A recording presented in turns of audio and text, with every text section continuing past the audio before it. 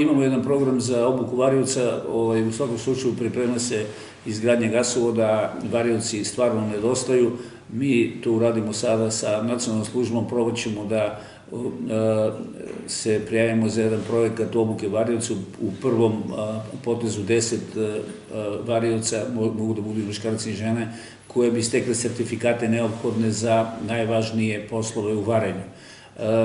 Evo, baš i danas imamo jedan e, webinar koji odavde ćemo lansirati iz zone, iz komore, koji nam pomaže da ovaj, uh, objasnimo, uh, jedna kompanija će predstaviti uštede u javnom osvetljenju, um, a to nije javno osvetljenje samo za gradove, već i za sve kompanije koje, koje su veće.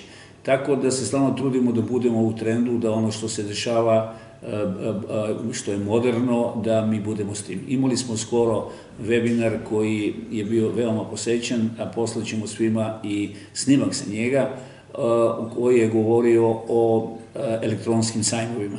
Znači, u ovom trenutku sajmovi su prestali da se održavaju u onom obliku kako su se ranije održavali. Sada postoji jedna platforma i mi smo to s jednom indijskom firmom prezentirali zainteresovanim članicama, tako da vi u elektronskom obliku možete predstaviti svoje proizvode, a sve izgleda kao da ovaj, ste na pravom sajmu, ulazite u jedan lobby, a posle toga različite sale, u salama se nalaze predstavnici kompanija koji mogu s vama da razgovaraju, koji mogu da vam ponude ovaj, svoje proizvode, da dobijete elektronski normalno prospekte i eto, trudimo se da radimo nešto savremeno.